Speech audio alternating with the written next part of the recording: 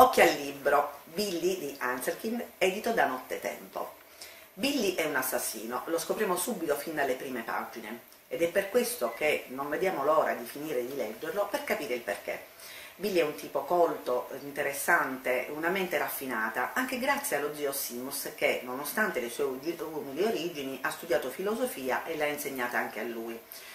Billy è un tipo sfortunato, è stato abbandonato piccolo dai genitori, ma viene cresciuto dagli zii e dai cugini in questo ambiente eh, familiare semplice ed accogliente. Billy è, mh, ha ereditato, l'unica cosa che ha ereditato eh, sono un giradischi, un vecchio giradischi e l'amore per la musica.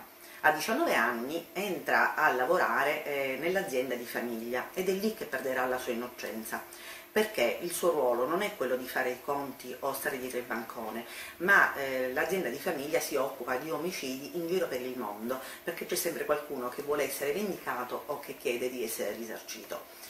A fare da sfondo c'è la Las Vegas, che è esattamente come noi la immaginiamo, hotel di lusso e di quarta categoria, topi e procioni morti nelle traverse, anziani rumorosi che giocano a bingo e tanti Elvis che ci affiancano per venderci un autografo o una canzone. Ma sappiamo che Billy parla con qualcuno. Ma chi?